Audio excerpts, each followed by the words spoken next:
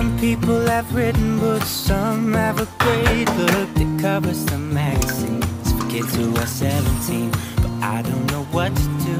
Staring into the blue sky and just waiting for a sign. Someday are certain of what awaits them when it all ends. But I don't know what will happen to me. Will I be remembered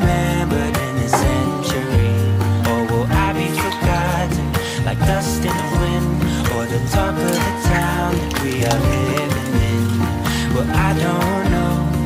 I don't know. How could I know what lies ahead of me? Am I part of a